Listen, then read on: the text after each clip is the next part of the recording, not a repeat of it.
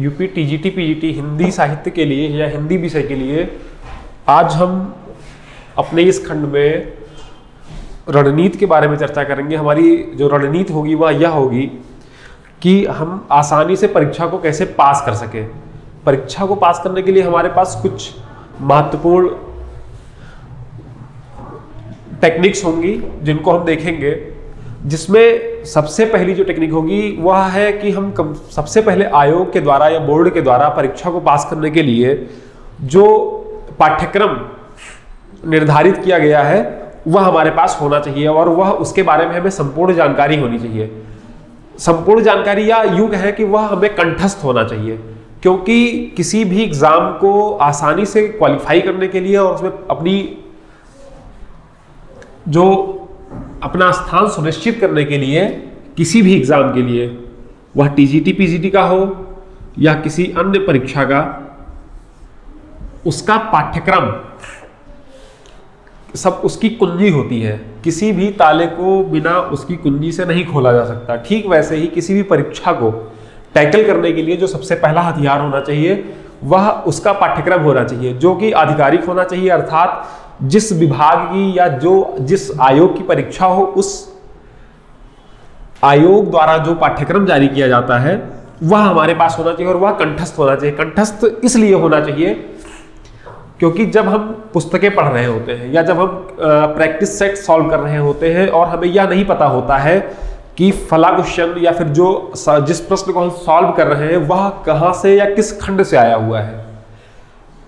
तो हम जब उस खंड को पढ़ते हैं, उस प्रश्न के आधार पर उस खंड को पढ़ने का प्रयास करते हैं तो उसकी गहराई और उसका जो परास है या उसका जो क्षेत्र है, वह हमें मालूम नहीं हो पाता है।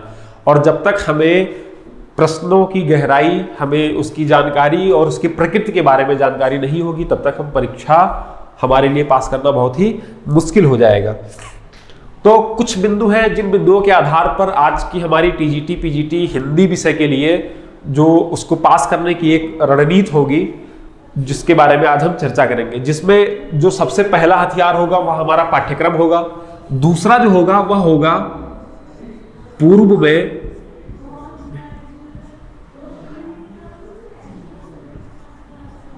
हुई परीक्षा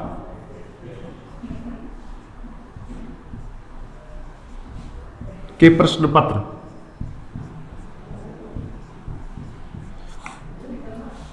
इसके पहले जो भी परीक्षाएँ हुई हैं टीजीटी पीजीटी की जो भी परीक्षाएँ उत्तर प्रदेश टीजीटी पीजीटी की हुई है, उनके पुराने प्रश्न पत्र हमारे पास होने चाहिए। जहाँ से भी, जैसे भी गूगल करके या फिर किसी पुस्तक भंडार से जहाँ से भी वो मिले, वह हमारे पास होना चाहिए।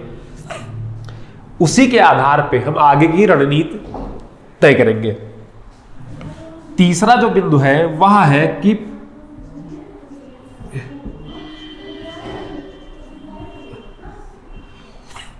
हमें हमारे पास पाठ्यक्रम है, हमारे पास इसके पहले जो जो परीक्षाएँ हुई हैं, उसके बारे में जानकारी है कि किस प्रकार से प्रश्न पूछे जाते हैं।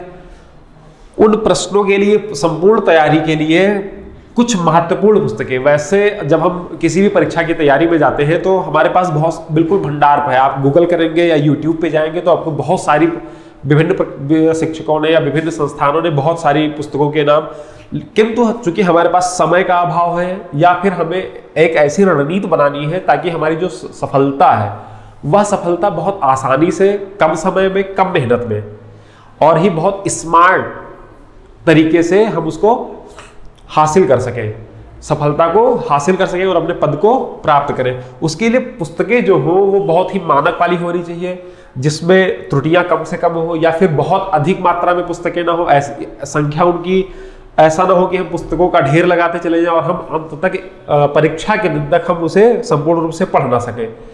कुछ पुस्तकें ऐसी मानक पुस्तकें हैं जिनके बिना जो हिंदी साहित्य या हिंदी किसी भी परीक्षा की हिंदी, जहाँ साहित्य से संबंधित प्रश्न आते हैं, वह उनका कह सकते हैं वो स्रोत है। वहीं से सब कुछ निकल, वहीं से सब कुछ निकलता है।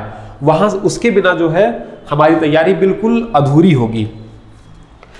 पुस्तकें पढ़ने के बाद पुस्तकों को हम दो आधारों पे पढ़ेंगे। वह दो, दोनों आधार जो है वह पाठ्यक्रम और जो इसके पूर्व में हुई जो परीक्षाएँ हैं उनके प्रश्न पत्रों के आधार पे हम पुस्तकों को देखेंगे। जिस खंड को पढ़ेंगे उस खंड को उस खंड से कितने प्रश्न पहले पूछे जा चुके हैं या प्रश्नों की गहराई क्या है? प्रश्नों की प्रकृति क्या है? कैसे प्रश्न पूछे जा रहे हैं? कहीं संकल्प संकल्पना पूछी जा रही है या फिर तथ्य पूछे जा रहे हैं? उस उन चीज़ों को हमें बहुत विशेष रूप से देखना होगा। पुस्तकों के बाद जो हमारा चौथा स्तंभ होगा वह होगा प्रैक्टिस सेट।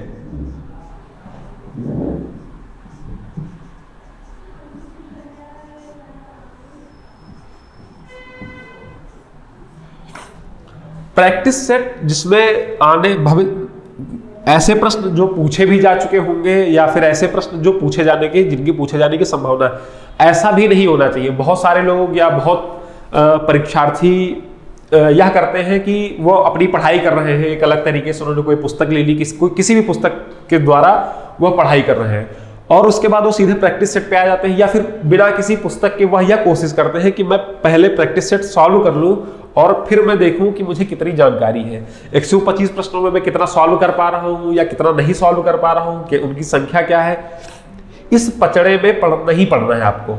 इस पचड़े में इसलिए नहीं पढ़ना है क्योंकि बिना भी जानकारी के, बिना ज्ञान के जब भी हम प्रश्न करते हैं, कभी अगर तुक्के से उनकी संख्या ठीक हो गई तो आप अति आत्मविश्वास से लबरेज हो जाएँगे, जो जो भी हानिकारक है। और अगर आपके प्रश्नों की संख्या बहुत कम रही और आपका विषय ऐसा है जो जिस भी विषय के हैं, हिंदी के हो या फिर किसी और विषय के हो, और अगर आपने सिर्फ़ आपके सिर्फ़ दो या तीन या चार या पाँच प्रश्न सही हुए तो आप बहुत ही हिंता बोध से भर जाएँगे। जो भी जो भी आपकी परीक्षा के लिए, आगामी परीक्षा के लिए बहुत ही नुकसानदेह होगा। तो इसलिए कभी भी प्रैक्टिस सेट को सबसे पहले ना खोलें। बहुत सारे विभिन्न हमें लग रहा है, लगभग मार्केट में हज़ारों की संख्या में प्रैक्टिस सेट उपलब्ध है। पहले भी थे, आज भी है। और वह हमें बहुत आराम से मिल जाएँगे। लेकिन हमें प्रैक्टिस सेट पे सबसे पहले नहीं जाना है। प्रैक्टिस सेट पे हमें तब जाना है जब हमारे हमने पाठ्यक्रम देख रखा हो, हमने पुराने परीक्षा के प्रश्न पत्रों को देख रखा हो, और हमने उसके साथ साथ में नहीं संपूर्ण रूप से या बहुत गहराई से नहीं तो कम से कम दो बार बहुत ही एक हमारा ओवरव्यू एक सूक्ष्म दृष्टि से, एक ये संपूर्ण रूप से हमने उस पूरे पाठ्यक्रम को एक बार कम से कम पूरा कर लिया हो कंप्लीट हो गया हो, और हमें ऐसा लग रहा हो कि हम अब प्रैक्टिस सेट सॉल्व कर सकते हैं। प्रैक्टिस सेट के बाद, ये ये चीज़ें आप स्वयं कर सकते हैं, बिना किसी की सहायता से। इस, इसमें सहायता यह हो सकती है कि कि आप किसी भी शिक्षक के द्वारा बताई गई किसी भी पुस्तकों का को फॉलो कर सकते हैं। किंतु इन सब चीज़ों को एक साथ यह, या एक साथ करने में या लगातार करने में बहुत समस्याएँ आती हैं। उन समस्याओं के लिए, उन समस्याओं को दूर करने के लिए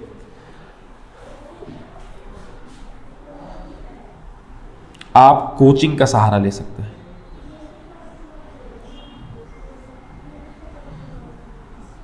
या किसी भी संस्था का जहाँ पे उससे संबंधित पढ़ाई होती है।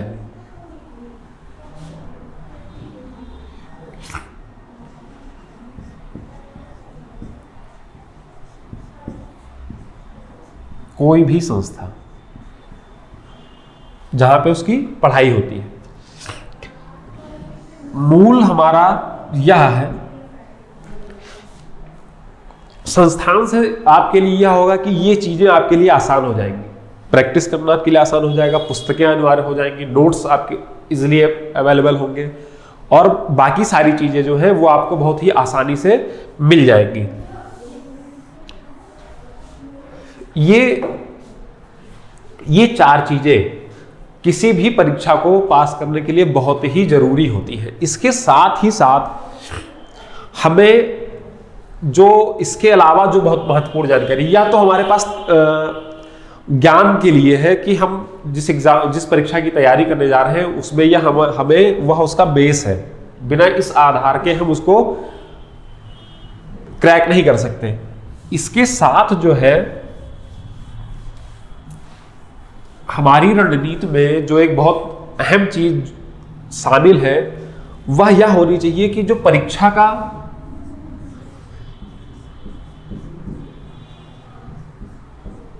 परीक्षा का पैटर्न क्या है? अर्थात किस प्रकार के प्रश्न पूछे जा रहे हैं? परीक्षा वस्तुनिष्ठ है या आत्मनिष्ठ है? किस संख्या में कितनी संख्या में प्रश्न आते हैं? और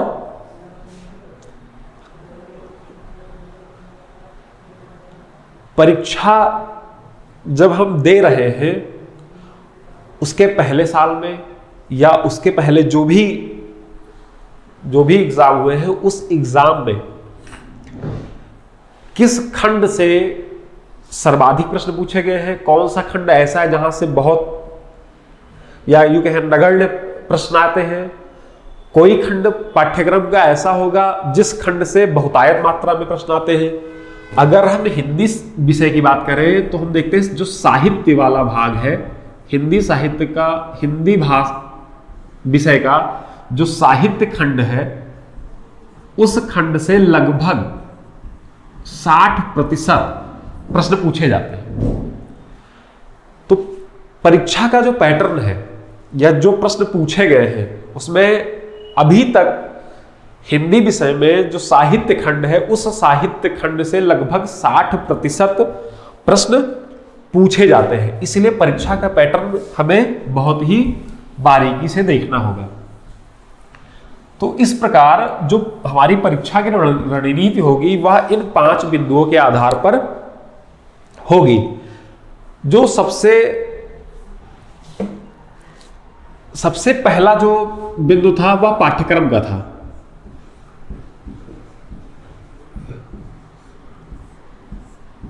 टीजीटी और पीजीटी हिंदी भाषा के लिए या हिंदी साहित्य के लिए या हिंदी विषय के लिए संपूर्ण पाठ्यक्रम की चर्चा पहले के दो क्लासेस में बहुत ही विस्तार से पाठ्यक्रम, संपूर्ण पाठ्यक्रम की चर्चा की गई है। एक एक खंड को, एक एक उपखंड को बहुत ही बारीकी से और बहुत ही विस्तार से समझाया गया है। आप उसको पहले के वीडियोस में आप देख सकते हैं। इसलिए हम आज यहाँ पर संपूर्ण पाठ्यक्रम में पाठ्यक्रम की चर्चा नहीं करेंगे। बस एक अंतर यह है कि टीजीटी और पीजीटी के पाठ्यक्रम में हिंदी के पाठ्यक्रम में बहुत मामूली अंतर है। बहुत ज़्यादा अंतर नहीं है। कुछ खंडों में तथ्य को बढ़ाया गया है, कुछ खंडों में तथ्यों को कम किया गया है, संकल्पना को बढ़ावा दिया गया है सिर्फ़ यही एक अंतर है, बहुत, बाकी बहुत ज़्यादा या फिर युग है कि दोनों में लगभग 20 से 30 प्रतिशत का ही अंतर है। इससे ज़्यादा का अंतर हमें नहीं मिलता है। तो पाठ्यक्रम की चर्चा में मैं एक बार सामान्य रूप से आपको पाठ्यक्रम के बारे में बता देता हूँ कि जो पाठ्यक्रम है, उसमें जैसे हिंदी साहित्य का इतिहास पाठ्यक्रम में एक महत्वपूर्ण टॉपिक है। हिंदी साहित्य का इतिहास।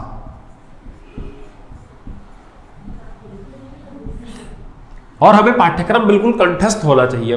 पुस्तक को पढ़ते समय हमारे लिए जो सबसे विशेष बात है वह यही होनी चाहिए कि हमें संपूर्ण पाठ्यक्रम कंठस्थ होना चाहिए। जिस भी प्रश्न को देखें जिस भी तथ्य को देखें जिस भी पंक्ति को हम पढ़ रहे हो यह हमें पता होना चाहिए यह हमारे पाठ्यक्रम का हिस्सा है। अन, अन, अनर्गल मेहनत या फिर क्षेत्र से बाहर की मेहनत करने से कोई फ़ायदा नहीं है। स्मार्ट स्टडी का समय है और स्मार्ट परीक्षाएँ हो रही है जो प्रश्न पूछे जा रहे हैं वो आपको अपना समय व्यर्थ नहीं करना है। कंपटीशन बहुत ही बड़े स्तर पर, बहुत ही कठिन स्तर पर हो रहा है। और जिस प्रकार से परीक्षार्थी या जिस प्रकार से संख्या बढ़ती जा रही है, उस हिसाब से, उस प्रकार से कंपटीशन दिन ब दिन बढ़ता जा रहा है। इसलिए अब आपको मेहनत के साथ साथ बहुत ही स्मार्ट तरीके से कार्य करना होगा और तैयारी करनी होगी।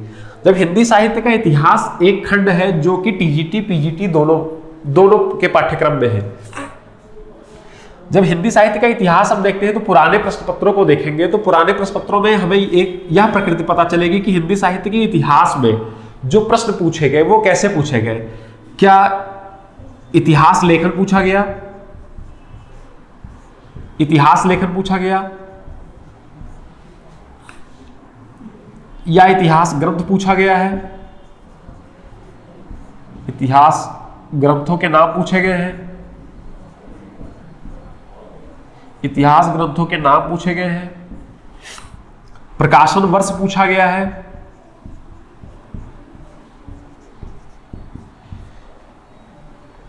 ग्रंथों के नाम व रचनाकार। या उन ग्रंथों से, ग्रंथों में जो वर्णन है या जो ग्रंथों की विशेषताएँ हैं, वे पूछी गई हैं। अब ऐसा ना हो इस क्रम में हम हिंदी साहित्य के इतिहास लेखन की संपूर्ण परंपरा को कंठस्थ करते चले जा रहे हैं और नाम और साहित्य याद करते जा रहे हैं। हम यह देखते जा रहे हैं कि मिश्र बंधुओं ने मिश्र बंधु विनोद नाम से एक इतिहास लिखा, हिंदी साहित्य का इतिहास लिखा मिश्र बंधुओं ने मिश्र बंधु विनोद के नाम से। किंतु हमें यह नहीं पता है कि उस इतिहास में क्या है। हमें यह भी जानकारी होनी चाहिए कि मिश्र बंधुओं ने जो अपना इतिहास लिखा हिंदी साहित्य का उस वह इतिहास दो खंडों में प्रकाशित प्रकाशित हुआ। किस किस वर्ष में प्रकाशित हुआ? यह यह भी परीक्षा के परास में है और इससे भी प्रश्न बनते हैं। तो पाठ्यक्रम हमें जब ध्यान में रहेगा और उसके साथ साथ में पुरानी परि, हुई परीक्षाओं के प्रश्न पत्र हमारे सामने रहेंगे तो हमें यह पढ़ने में आसानी होगी कि हिंदी साहित्य के इतिहास, लेखन से या हिंदी साहित्य के इतिहास से जो भी प्रश्न पूछे गए हैं, वे किस प्रकार के पूछे गए हैं? क्या सिर्फ़ ग्रंथों का नाम पढ़ने से हमें जानकारी मिल जाएगी? सिर्फ़ ग्रंथों को रट लेने से काम चल जाएगा? या फिर सिर्फ़ रचनाकारों का नाम जान लेने, जान लेना ही हमारे लिए पर्याप्त होगा? या फिर उनका प्रकाशन वर्ष हमारे लिए जान लेना पर्याप्त होगा? या फिर उन ग्रंथों की प्रवृत्ति क्या है? वैज्ञानिक आधार पर लिखे गए जो जिन रचनाओं का या कवियों या रचनाकारों का का उल्लेख किया गया, वह वर्ण क्रमानुसार है या फिर ऐसे ही फैले हैं। इसलिए हमें पाठ्यक्रम और पाठ्यक्रम जब भी रखेंगे तो पाठ्यक्रम अकेला नहीं होगा। पाठ्यक्रम के साथ साथ में जो है प्रश्न पत्र भी होना चाहिए। पुरानी परीक्षाओं के प्रश्न पत्र भी होना चाहिए। बिना प्रश्न पत्र के पाठ्यक्रम अधूरा है। परीक्षा की दृष्टि से, आपके ज्ञान की दृष्टि से और आपकी सफलता सुनिश्चित होने की दृष्टि से बिना प्रश्न पत्र के पाठ्यक्रम अधूरा है। यह बिल्कुल अपने मन में बिठा लीजिए। सिर्फ़ पाठ्यक्रम देखेंगे तो हमें कोई कोई फ़ायदा नहीं होगा। सिर्फ़ प्रश्न पत्र देखेंगे तो हमें कोई फ़ायदा नहीं होगा। हम सिर्फ़ पढ़ते जाएँगे। ठीक उसी तरह से जैसे कोल्हू का बैल होता है, उसे एक बार लगा दिया जाता है और वह चलता जाता है। उससे, उसे यह नहीं परवाह रहती कि कोल्हू में जिस अनाज की आवश्यकता है या जिस सरसों या तिल की आवश्यकता है, वह उसमें है या नहीं? और उस जानकारी के लिए हमें पाठ्यक्रम और प्रश्न पत्र को बहुत ही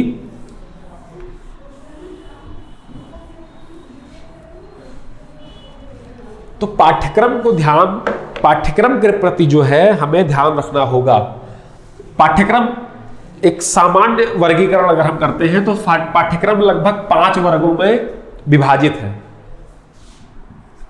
पहला वर्ग है साहित्य, जिसे आप शुद्ध साहित्य कह सकते हैं, जिसमें शुद्ध साहित्य है, अर्थात साहित्य है, साहित्यकार है, उनकी रचनाएँ हैं। उसके साथ साथ साहित्य दो खंडों में बटा हुआ है, गद्य खंड और काव्य खंड। एक काव्य खंड है, दूसरा गद्य खंड है। उसके बाद, साहित्य के बाद जो दूसरा भाग है, वह भाषा का भाग है। भाषा विज्ञान का खंड है। भाषा विज्ञान का जो खंड है, जिसमें बोलियाँ हैं, बोलियों के साथ साथ में हिंदी की शब्द संपदा है कि जो जिस रूप में शब्द या जो रूप हमें आज मिला हुआ है, जो हमें मिला हुआ है, वह किस प्रकार से है और वह क्या है? ध्वनिया है, इसी में लिपि है। जिस लिपि में हम लिख रहे हैं, वह उसका विकास क्रम क्या है? वह कैसे हमारे तक पहुँची? और भाषा को आज के, आज जिस रूप में हम देखते हैं, वह जो विकास हुआ। अपभ्रंश या प्राकृत से या लिपि का जो विकास हुआ उन त्रुटियों का सुधार किस रूप में हुआ तो जो दूसरा खंड है, वह भाषा विज्ञान का है। भाषा विज्ञान के बाद एक महत्वपूर्ण खंड है, तीसरा वह है काव्यशास्त्र का।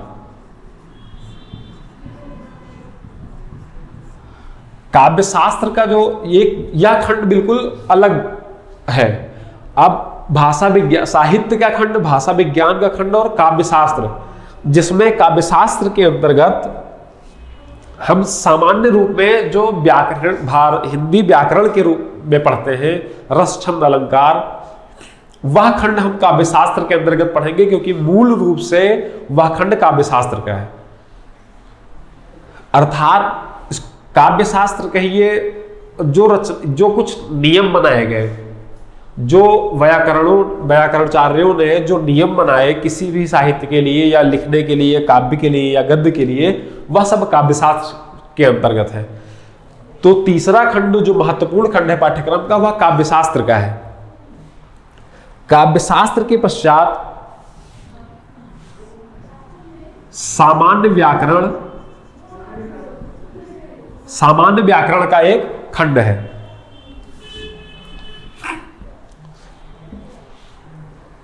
इन चार खंडों के पश्चात जो पांचवा खंड है, वह है संस्कृत साहित्य का। संस्कृत साहित्य।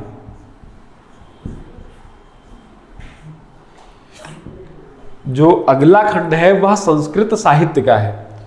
संस्कृत साहित्य में हमें संस्कृत का साहित्य के साथ साथ जो एक और खंड, उपखंड जुड़ा हुआ है, वह व्याकरण का है।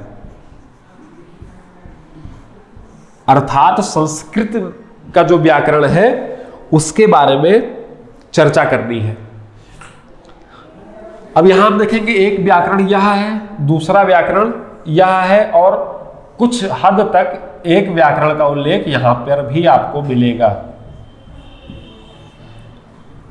तो ऐसा नहीं है कि ये देख के नहीं घबराना है कि हमें एक व्याकरण हिंदी का अलग पढ़ना है काव्य शास्त्र का अलग पढ़ना है संस्कृत साहित्य के साथ अलग पढ़ना है। जब हम देखेंगे तो जिस सम, एक सामान्य भाषा में व्याकरण के अंतर्गत जो चीज़ें हम पढ़ते थे उसी का वर्गीकरण पाठ्यक्रम में अलग अलग रूप से कर दिया गया है।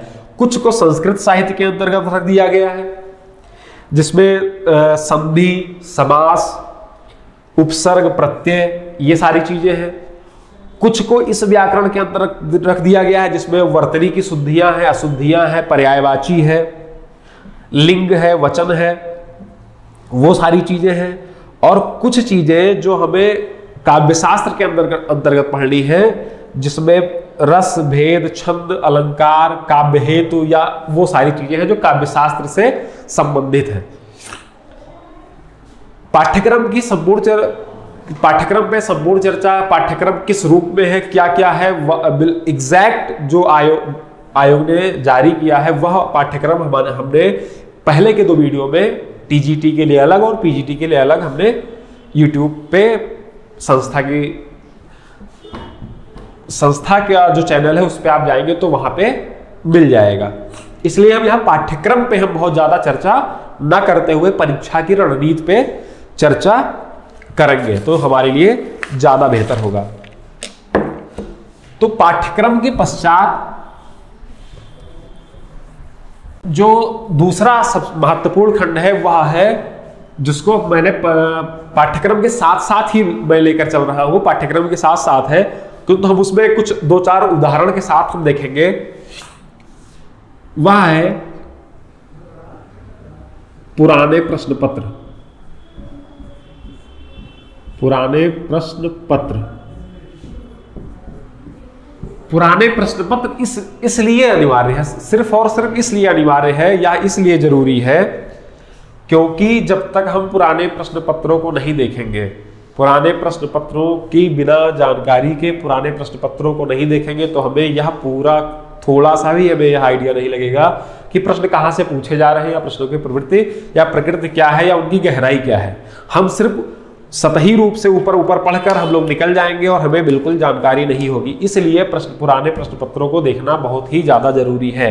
और आगामी जो कक्षाएँ चल रही हैं, कुछ कक्षाएँ चल रही हैं और कुछ कक्षाएँ जो आगामी चलेंगी, उसमें हम पुराने प्रश्न पत्रों पर पूरा एक टॉपिक एक पूरा खंड होगा, एक दिन होगा, जिसमें हम पुराने प्रश्न पत्रों पर और उन प्रश्नों के प्रकृति पर हम चर्चा करेंगे ताकि यह हमारी समझ विकसित हो सके और हम अपने पाठ्यक्रम को बहुत ही अच्छी तरीके से पढ़ सके। तो पुराने प्रश्न पत्रों में, बिना पुराने प्रश्न पत्रों के हम, हमारे लिए परीक्षा को समझना बहुत ही कठिन हो जाएगा। इसके पश्चात जो सबसे महत्वपूर्ण चीज़ थी, वह थी पुस्तकें। पुस्तकों में हमें सभी पुस्तकें नहीं पढ़नी है, ऐसा नहीं है कि कहीं से भी हमने कुछ भी उठाया और पढ़ने पढ़ना शुरू कर दिया। बिना जानकारी के या फिर यूँ कहें, पुस्तकें कोई भी खराब नहीं होती हैं। सबसे पहली बात, कोई भी पुस्तक खराब नहीं होती है, परंतु हमें उन पुस्तकों को चुनना है जो हमारे संपूर्ण पाठ्यक्रम को अपने में समाहित करती हो। कम समय में जिसमें हम ज़्यादा जानकारी इकट्ठा कर सके, जैसे जो प्रश्न पत्रों की जो प्रकृति है। या फिर जो परीक्षा की प्रकृति है, वह परीक्षा की जो प्रकृति है, वह परीक्षा की जो प्रकृति है, वह वस्तुनिष्ठ है।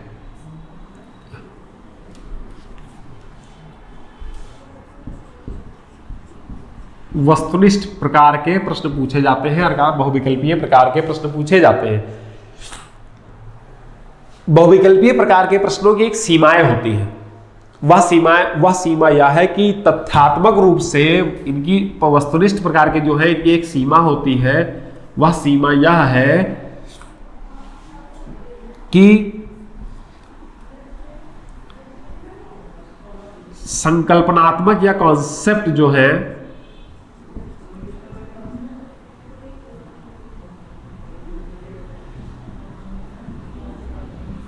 संकल्पनात्मक रूप से या फिर जिसे हम सामान्य भाषा में या फिर अंग्रेज़ी में थेरी कहते हैं या फिर जो एक उस तरह के प्रश्न नहीं पूछे जाते बहुत ही बहुत ही कह सकते हैं यदा कदा या कुछ स्टेटमेंट आ जाते हो, कुछ किसी भी विद्वान ने कोई बात कही हो, वह बात भले आ जाती हो, परंतु उस पर बहुत ही विस्तार के साथ कोई प्रश्न नहीं पूछा जाता है।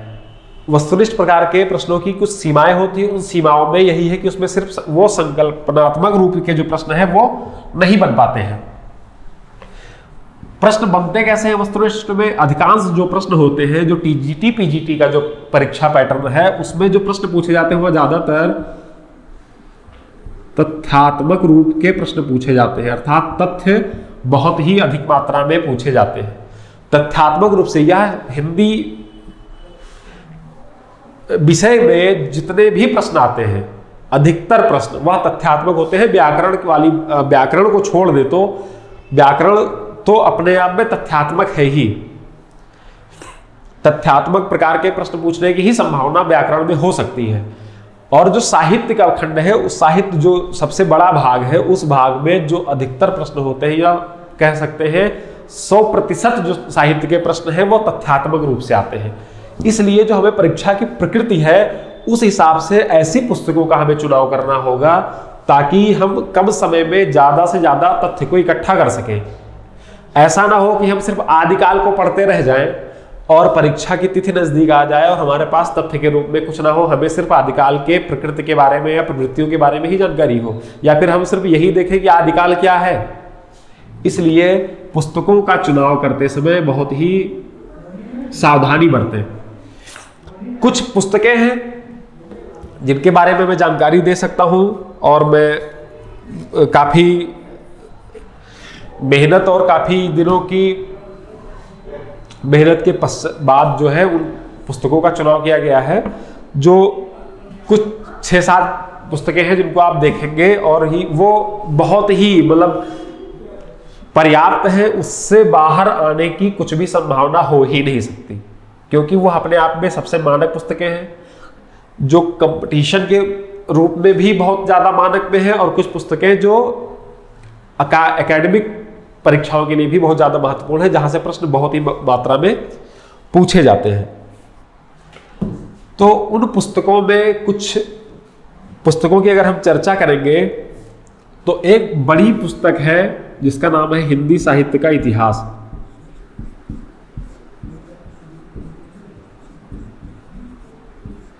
हिंदी साहित्य का इतिहास। इसका संपादन किया है डॉक्टर नगेंद्र ने। डॉक्टर नगेंद्र ने इसका संपादन किया है।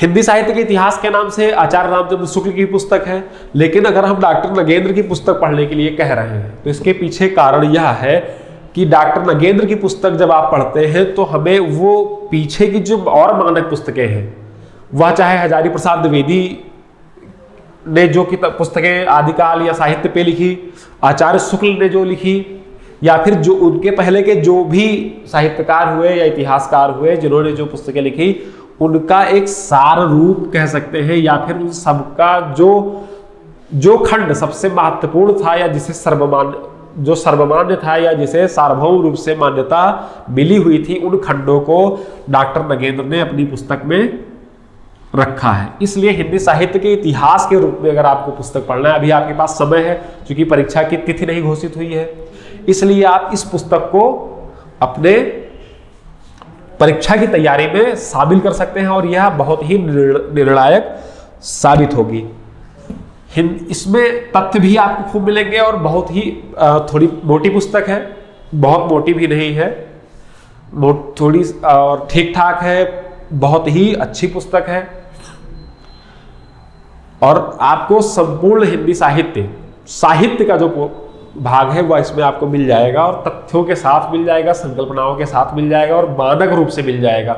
मानक रूप से कहने का आशय सिर्फ़ इतना है कि अगर आदिकाल पे हजारी प्रसाद द्विवेदी जी ने बहुत ही बेहतर काम किया है या उनकी पुस्तकें मानक है तो आदिकाल का जो खंड है वह हजारी प्रसाद द्विवेदी जी से ही प्रभावित है या फिर उनको ही फॉलो किया गया है।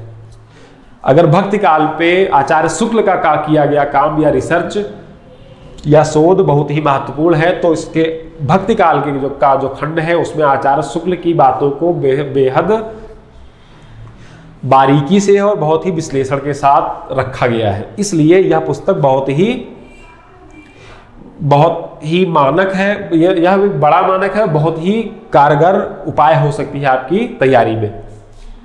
जो दूसरी पुस्तक है, अगर आप इसको नहीं पढ़ना चाहते हैं, मैं उन लोगों के लिए बात कर रहा हूँ जिनको लगता हो इसकी किताब की मोटाई देख के या फिर थोड़ा आलसी है या फिर जिनके पास समय नहीं या फिर कहीं और पे कुछ उनके पास समय अभाव है तो वह दूसरी पुस्तक रूप के रूप में तो मैं हिंदी साहित्य का सरल इतिहास जो विश्वनाथ प्रसाद विश्वनाथ त्रिपाठी जी ने लिखी हुई है, मैं उसकी बात कर रहा था और यह कह रहा था, सरल से आपको यह समझ में आ ही गया होगा कि यह सरल क्यों है। शायद त्रिपाठी जी ने इसको ऐसे विद्यार्थियों के लिए लिखा है जो जिनके पास समय नहीं है या फिर थोड़े आलसी हैं। बाकी विश्वनाथ त्रिपाठी जी मिर्जापुर से नहीं थे। यद्यप वो त्रिपाठी थे। इसके साथ में हाँ एक चीज़ जो महत्वपूर्ण यह है कि अगर आपके पास यह, इसको पढ़ने पर हिंदी साहित्य के इतिहास की एक सूक्ष्म जानकारी या एक प्रारूप की या कह सकते हैं या एक ओवरव्यू बन जाएगा। ओवरव्यू इस खंड में कि जैसे अगर आपके, आप के पास यह जानकारी इस चीज़ का अभाव है, या फिर मैं कहूँ, कहना चाहूँगा, अगर जिन लोगों ने हिंदी साहित्य के बारे में बहुत ही कम जानकारी है, या बहुत ही सतही जानकारी है, या फिर जिनको इतिहास का वर्गीकरण या इतिहास के कालखंडों का बहुत विशेष ज्ञान नहीं है, और वह उसमें झिझक है तो हिंदी साहित्य का इतिहास नगेंद्र डॉक्टर नगेंद्र के संपादन की पुस्तक पढ़ने के पहले वह हिंदी साहित्य का सरल इतिहास पढ़े, क्योंकि यह जो पुस्तक है, वह थोड़ी कहानी के रूप में है। इसमें बहुत ज़्यादा ऐसा खंडों का वर्गीकरण नहीं है, बहुत ज़्यादा तथ्य नहीं दिए गए हैं, बहुत ज़्यादा सिर्फ़ आपको हिंदी साहित्य के सरल इतिहास से आपको हिंदी साहित्य के बारे में एक जानकारी मिल जाएगी, जिससे यह आपकी एक समझ विकसित होगी कि हिंदी साहित्य का जो इतिहास है, वह क्या है या फिर हिंदी साहित्य क्या है। इसलिए अगर आपकी एक समझ बनी हुई है और आपके पास एक सामान्य जानकारी हिंदी साहित्य के इतिहास के बारे में है तो आप डॉक्टर नगेंद्र की पुस्तक को पढ़ें। इस पुस्तक को छोड़ दें। और अगर आपके पास बिल्कुल आप ज़ीरो से शुरू कर रहे हैं तो इसके लिए आपको यह पुस्तक आपके लिए बहुत ही सहायक साबित हो सकती है। आपको समय देना होगा। इस पुस्तक से आपको एक समझ विकसित होगी, जो जहाँ से तथ्य और बहुत सारी जानकारी इस पुस्तक से आपको मिलेगी। इसके पश्चात एक पुस्तक जिसका नाम मैंने पहले लिया था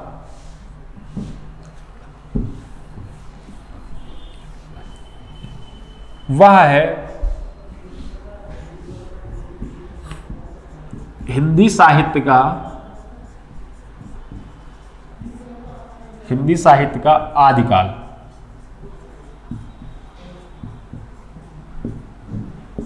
तीसरी पुस्तक जो है हिंदी साहित्य का आदिकाल, जिसकी रचना हजारी प्रसाद द्विवेदी जी ने की है। इस खंड से हमें आदिकाल का जो भाग है, आदिकाल के बारे में संपूर्ण जानकारी हमें मिलती है। अगर आदिकाल के का खंड आपके लिए बहुत ही कठिन या दुरूह है तो आप इस पुस्तक का उपयोग कर सकते हैं। अपने आप में यह मानक पुस्तक है और आदिकाल से संबंधित लगभग अवधारणाएँ वह द्विवेदी जी की पुस्तक से ही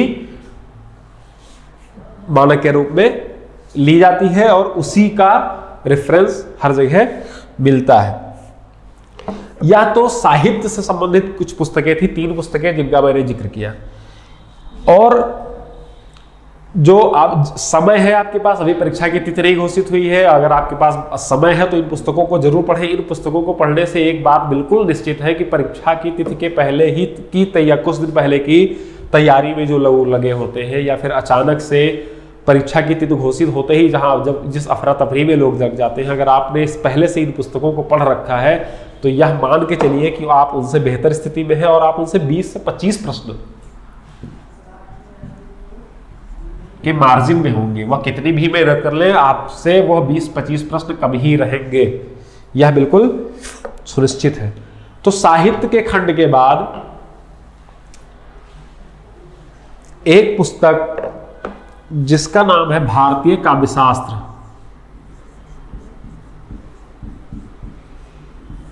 भारतीय काव्यशास्त्र। भारतीय काव्यशास्त्र को पढ़ने के लिए आपके पास दो ऑप्शन है।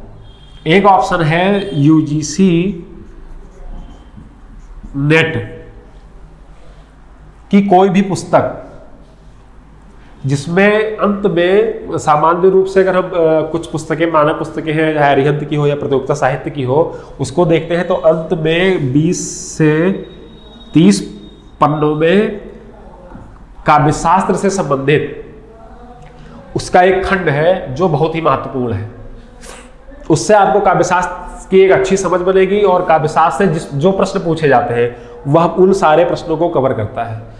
अगर आपके पास यूजीसी नेट हिंदी साहित्य के, हिंदी विषय से संबंधित पुस्तकें हैं तो आप वहाँ से भारतीय काव्य शास्त्र के पोर्शन को पढ़ सकते हैं। अगर आपके पास यह पुस्तक नहीं है या फिर इसका जोखिम नहीं उठाना चाहते हैं, आप दो चूँकि नेट की दो पुस्तकें आती हैं, दो खंडों में, खंड एक के साथ खंड दो आती है। अगर आप दो पुस्तकें नहीं लेना चाहते तो निशा श्रीवास्तव की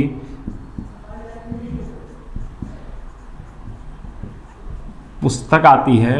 भारतीय काव्य शास्त्र जो परीक्षा की दृष्टि से बहुत ही उपयोगी है भारतीय काव्य शास्त्र के खंड को देखने के लिए। चौथी पुस्तक के पश्चात, यह तीन पुस्तकें हमें जो खंड बताए गए थे, आपको याद होंगे, साहित्य का खंड था, भाषा का खंड था, काव्यशास्त्र का खंड था, और व्याकरण के खंड दो तीन अलग अलग भागों में थे। कुछ संस्कृत में थे कुछ हिंदी में थे, कुछ व्याकरण, इसका एक अपना अलग भाग था। तो जो एक पांचवी पुस्तक है, जिसका नाम है हिंदी व्याकरण, योग रचना। हिंदी व्याकरण एवं रचना। जिसके रचयिता है वासुदेव।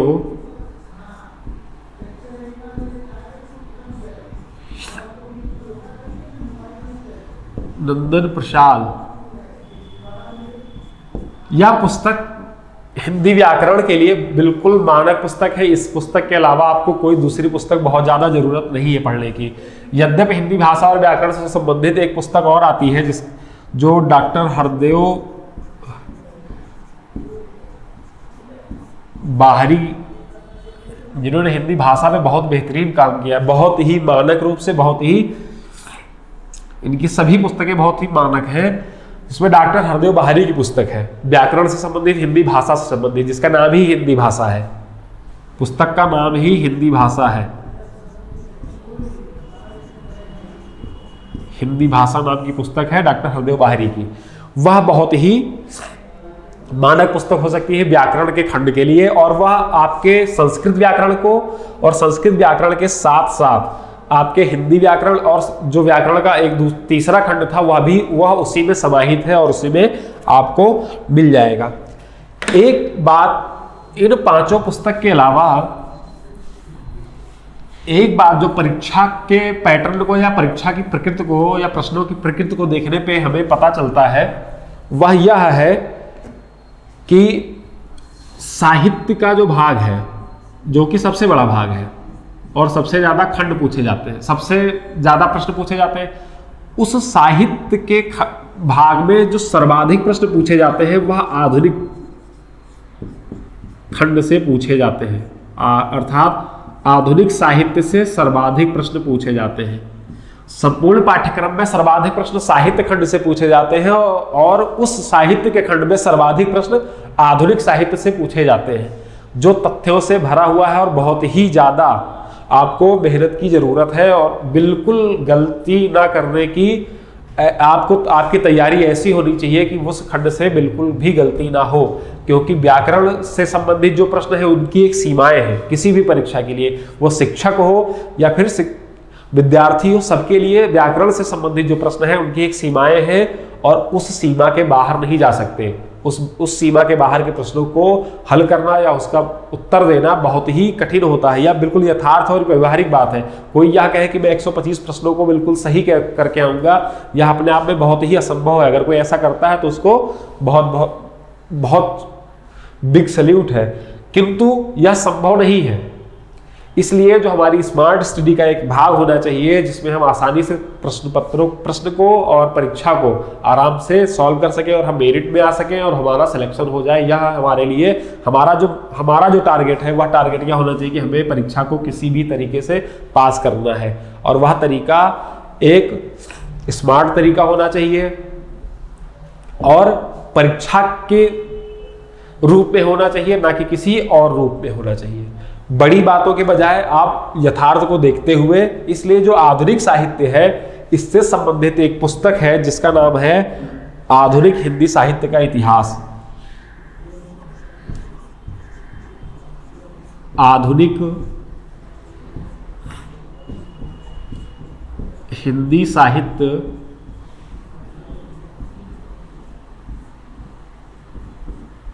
का इतिहास जिसके लेखक है डॉक्टर बच्चन सिंह। और इनका अमिताभ बच्चन के परिवार से कोई संबंध नहीं है। आधुनिक हिंदी साहित्य का इतिहास डॉक्टर बच्चन सिंह के द्वारा लिखी गई पुस्तक है और आधुनिक साहित्य के लिए या इससे बेहतर और आपके आपके सामने और कोई पुस्तक नहीं हो सकती है। और यह आपको पढ़ना बिल्कुल आवश्यक है। अगर आपको कुछ पुस्तकें जित ये छठी पुस्तक मैंने लिखवाई है और छठी पुस्तक, इस छठी छो पुस्तक में अगर आपको सब, कम से कम कुछ पढ़ना है तो आप डॉक्टर नगेंद्र और इस पुस्तक को बिल्कुल भी ना छोड़ें। हिंदी साहित्य, अब ये छह पुस्तकों को पढ़ने के बाद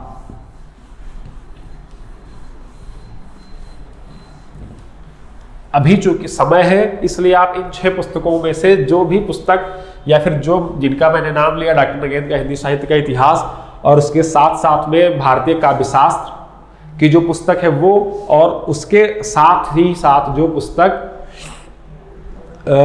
आधुनिक साहित्य का आधुनिक हिंदी साहित्य का इतिहास डॉक्टर बच्चन सिंह की जो पुस्तक है, ये तीनों पुस्तकें पढ़ना बिल्कुल ही कंपलसरी है। इन तीनों के बिना आपका बेड़ा पार होने वाला नहीं है। इसके अलावा जो प्रश्नों की प्रकृति है, उस हिसाब से एक ऐसी पुस्तक है जिसमें आपको लगभग सब कुछ मिलेगा। जो वस्तुनिष्ठ प्रकार का, जो पुस्तक है वह वस्तुनिष्ठ प्रकार की, अर्थात एक पंक्ति में बात दी गई है और उसका उत्तर दिया गया है। वन लाइनर जिसको कहते हैं सामान्य भाषा में वन लाइनर है, जो तथ्य दिए गए हैं वह वन लाइनर टाइप के हैं। उसमें रिसर्च पेपर ना हो करके एक गाइड की तरह पुस्तक है जिसका नाम है हिंदी साहित्य का हिंदी साहित्य का वस्तुनिष्ठ, पुस्तक का नाम ही वस्तुनिष्ठ है। हिंदी साहित्य का वस्तुनिष्ठ इतिहास। यह पुस्तक लिखी है पुनीत कुमार राय ने। पुनीत कुमार राय की हिंदी साहित्य का वस्तुनिष्ठ इतिहास है। इससे आपकी एक सबसे अच्छी चीज़ है कि आपको इसमें तथ्यों की कमी बिल्कुल नहीं होगी। तथ्यों की कमी बिल्कुल नहीं होगी और आपके पास तथ्यों का भंडार होगा। और जैसा कि आपको इस परीक्षा की प्रकृति के बारे में पता है, तथ्यों की, तथ्यों पर बहुत ही अधिक ज़ोर है। प्रकाश, पुस्त, किसी भी रचना का प्रकाशन किस वर्ष में हुआ, किस, कितने खंडों में हुआ, उसमें क्या है रचना क्या है, रचनाकार के नाम क्या है इस तरह के जो प्रश्न आते हैं, उन प्रश्नों के लिए जो हमारी रणनीति होगी, वह इन विभिन्न खंडों के आधार पर होगी। तो इस प्रकार हमने देखा कि हमारी जो परीक्षा की रणनीति क्या होनी चाहिए, वह कैसी होनी चाहिए। पुस्तकों के बाद जो चौथी चौथा सबसे महत्वपूर्ण भाग था, वह था प्रैक्टिस सेट।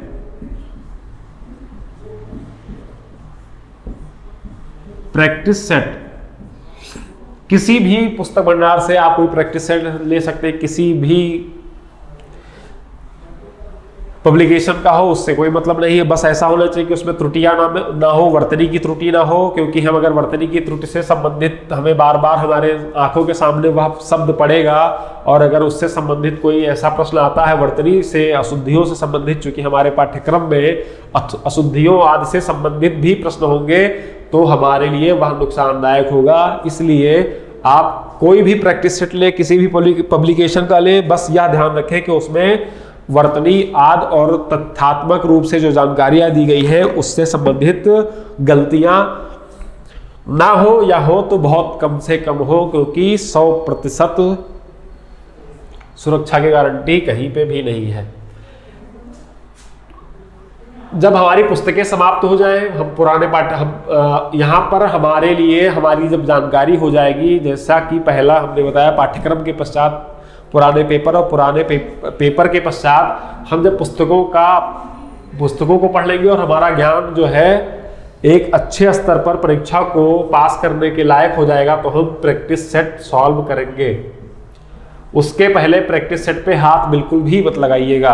क्योंकि वह आपके लिए बैकफायर कर सकता है और आपको रोक सकता है। आपको मनोवैज्ञानिक रूप से परीक्षा के अनुकूल होने से बिल्कुल उसमें बाधक साबित हो सकता है। इसलिए प्रैक्टिस सेट हमेशा बिल्कुल परीक्षा से संबंधित संपूर्ण पाठ्यक्रम को पढ़ने के बाद कंप्लीट करने के बाद ही हम प्रैक्टिस सेट पे जाएँगे।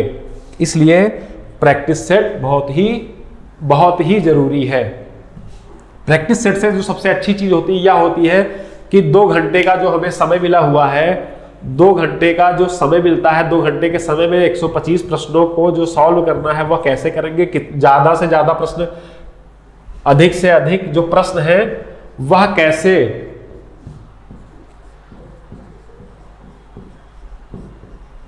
अधिक से अधिक प्रश्नों को हम सॉल्व करें, अधिक से अधिक प्रश्न हमारे पेपर के जब सॉल्व होंगे तो हमारी सफलता बिल्कुल ही सुनिश्चित होगी। इसलिए प्रैक्टिस सेट बहुत ही ज़्यादा ज़रूरी है, जिस पर जो हमारे रणनीति का एक सबसे खास और अंतिम पहलू है।